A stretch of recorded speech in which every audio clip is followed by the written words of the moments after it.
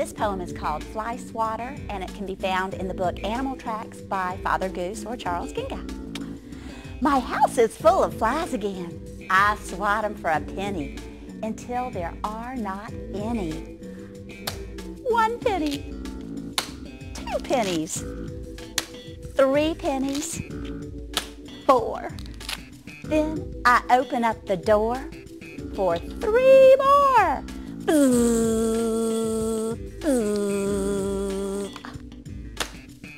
Pennies, six pennies, seven pennies more.